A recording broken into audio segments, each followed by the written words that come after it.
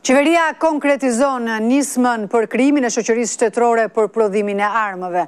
Kompania e re do të ketë një kapital fillestar prej 300 milion lekësh. Sipas projektligjit, kjo do të forcojë pozicionin strategjik të vendit tonë në rajon, por edhe në arenën ndërkombëtare sa i përket sigurisë.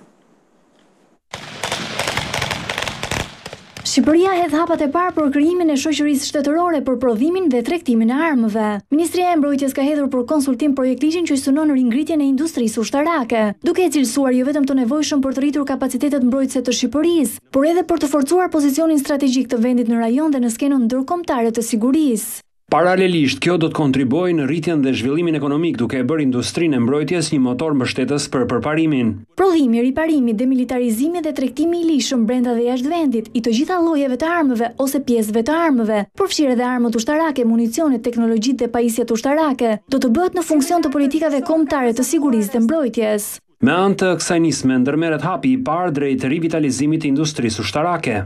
Shoqëria shtetërore do të mbajë emrin KAYO SHA dhe aksioneri i vetëm është shteti që është edhe burimi financiar fillestar i saj. Efektet fillestare të projektligjit në momentin e krijimit të kësaj shoqërie janë në vlerën e treqind milionë lekëve dhe do të përballohen nga fondi rezervë. Në shkurt të këtij viti, kryeministri Edi Rama pas takimit me presidentin e Ukrainës Volodymyr Zelensky në Tiranë, ra dakord për të krijuar një industri për bashkëprodhimin e municioneve me qëllimin për të ndihmuar Ukrainën.